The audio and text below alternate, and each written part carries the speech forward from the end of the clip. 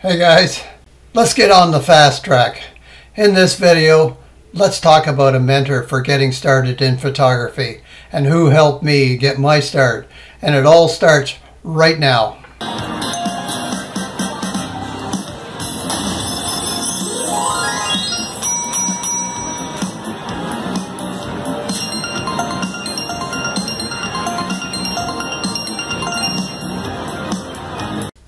How did I get my start in photography? First off, I was given a free point and shoot camera I played around with and took some pictures and soon learned its limitations.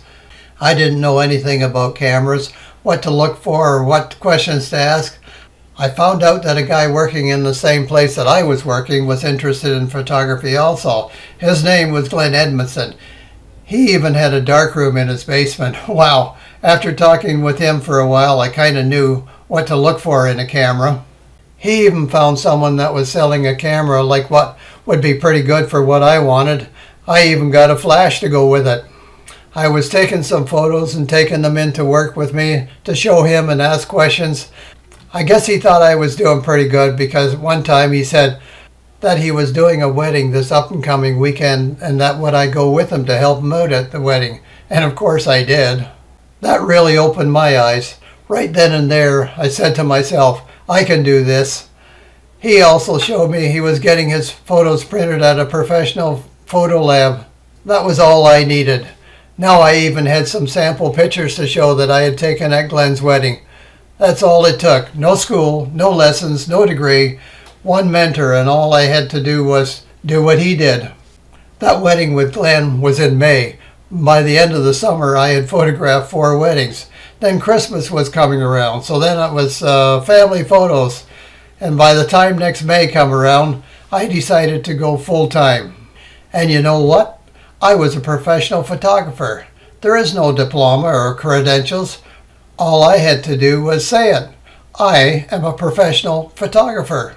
Made some business card and some letterhead. Did I know everything about photography? Not even close. Did I know all the settings on the camera? Not even close again. Guess who does know all the camera settings on them cameras? The guy selling the cameras in the camera store. So I would go in and ask him. If that one didn't know, the guy at the next camera store did. It didn't take long to get the answers I needed. Around then, I joined the Professional Photographers of America, better known as the PPA. I started to hire the odd helper to help me with weddings.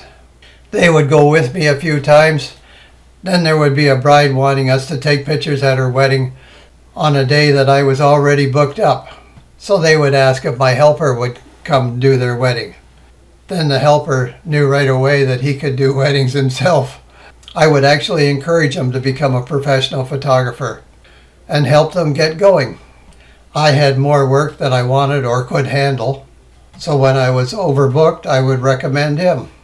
I not only knew how much my mentor had helped me see that I could do it just as well as anyone else.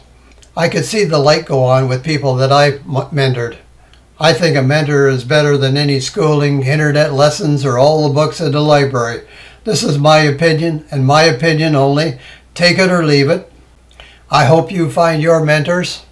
You'll be surprised how much people are willing to share. Take care, guys, and good luck.